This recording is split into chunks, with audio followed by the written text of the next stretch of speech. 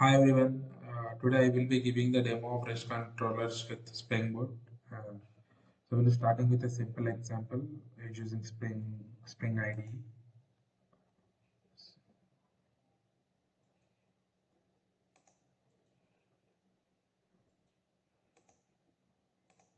We're creating a project as uh, Spring Boot REST.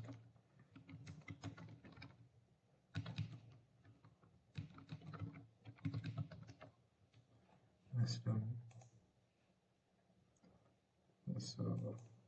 we'll be adding dependence of that. So this is for uh, creating MVC layer or clearly we can say for creating REST controllers.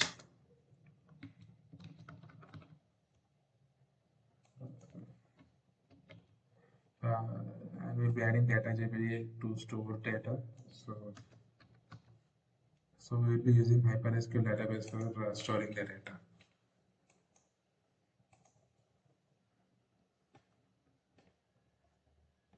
So HyperSQL is in-memory database, so it can be stored as a, as a file or it can be stored in a memory. So the one which is stored in the file is a persistent one. So even if you restart the Spring Boot application, still it will be persisted. Uh, but in case of uh, in memory, uh, it will not be persisted. If you start the server, restart the server, the entire data will be lost and it will start from first. So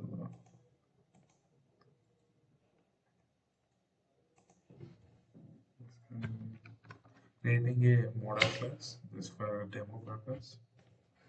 Uh, so my what is as class employee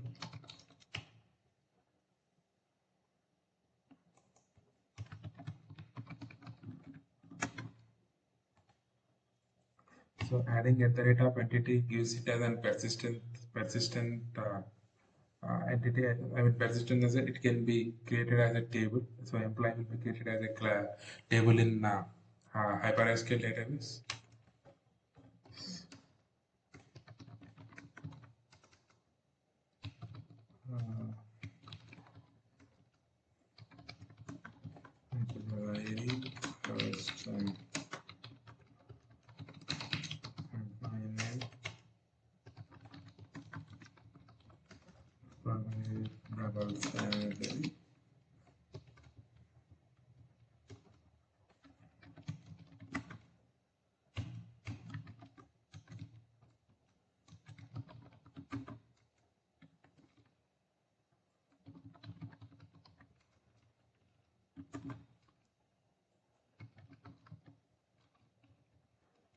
So at the rate I indicates that is the primary key to the table and at the rate generate, generated value is used for used to indicate how to generate a primary key.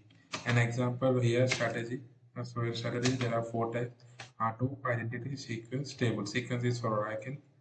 Auto auto is uh, normally used for MySQL PostgreSQL where there is auto increment operation, but uh, Oracle doesn't support that. So in our case, we will be going with uh, uh, none of this. So we want to manually assign the we want to manually assign the employee ID. So we'd like to go with the manual assign. So I will be generating a default constructor. Um,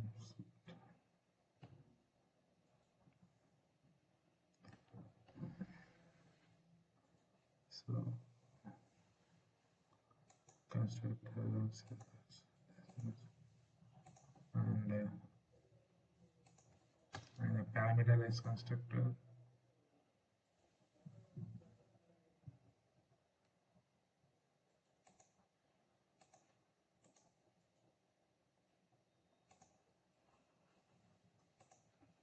and get a status and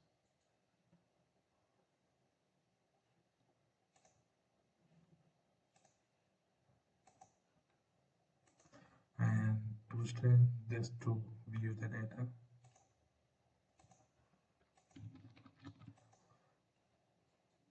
now we'll create a JPA uh, interface.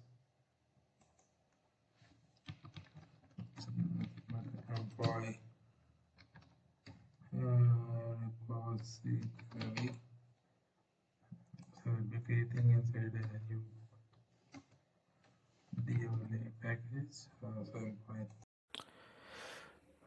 So employee repository has to extend JPA repository. So it takes the entity class and the primary key type. So as it is generic interface.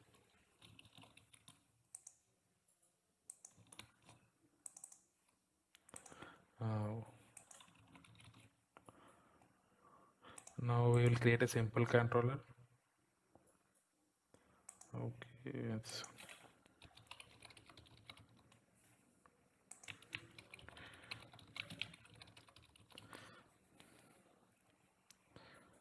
finish. Yes. Adding at the rest rest controller makes this controller as a rest API. So if you go if you go inside rest controller, right? So there are two annotations. One is at the rate rest controller, sorry, at the rate controller and at the rate response body. So when we use a rest, the controller with the response body, then it is treated as a API. And if you don't use at the rate response body, then it is treated as a normal MVC controller. So to overcome that, Spring has created a combined annotation, which is REST controller. So we don't need to use both the, in our application. So we can use a single uh, single annotation, which is REST controller. Public uh, employee. Uh,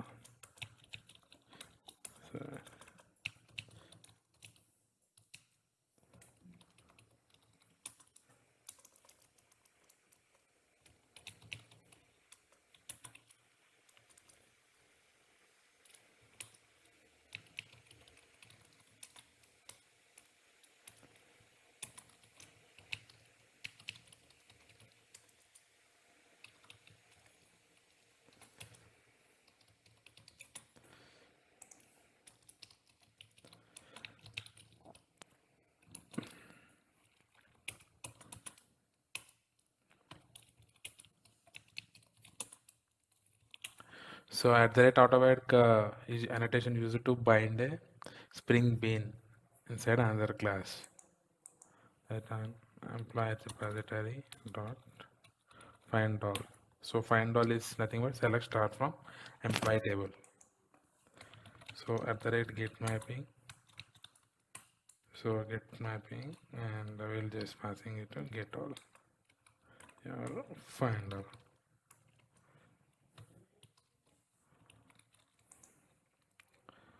Uh, so we'll be creating a command line controller uh, which will just initialize that data in our application.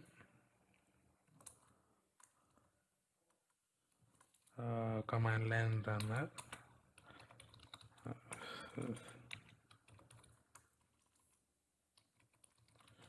so we'll be injecting employee repository employee repository and uh,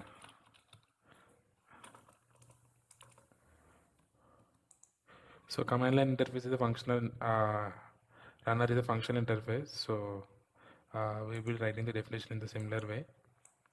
So return so it takes arguments. Uh, then so now I'm creating some dummy employees employee employee equal to new okay.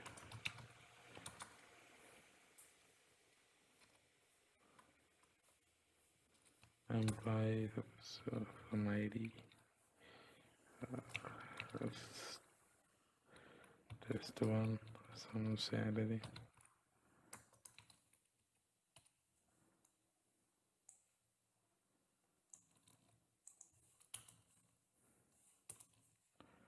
so employee one two. First one two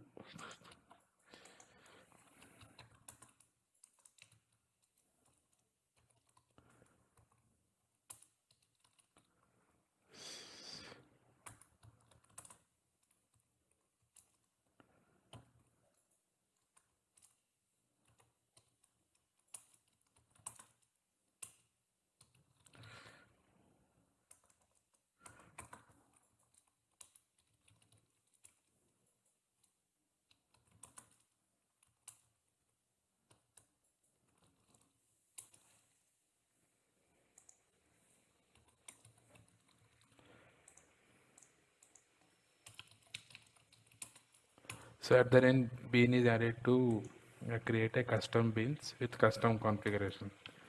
So now we are enabling, enabling the transaction management for persisting the data. So running the application.